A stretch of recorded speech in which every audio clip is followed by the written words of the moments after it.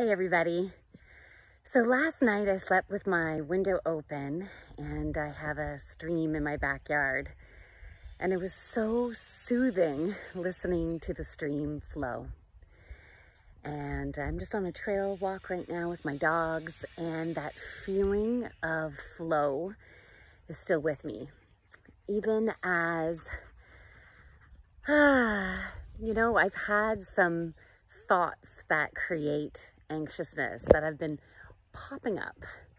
And that feeling of flow has been helping me to, to literally let go and just flow. So I decided I just wanted to post this. Um, just maybe it's just a reminder and you can let me know in the comments if this resonates for you, but just that reminder to let go and flow this weekend.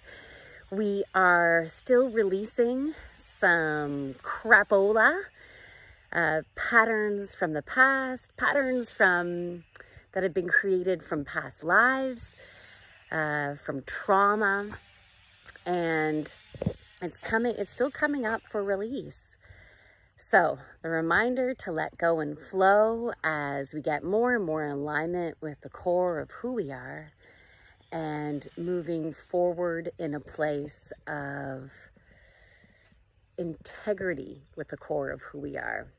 So making choices that truly feel right within our heart, that feel like it's in alignment, speaking the truth to ourselves and to others um, from the heart.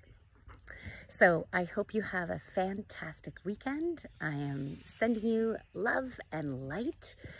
And from the core of, from the light within me to the light within you, namaste.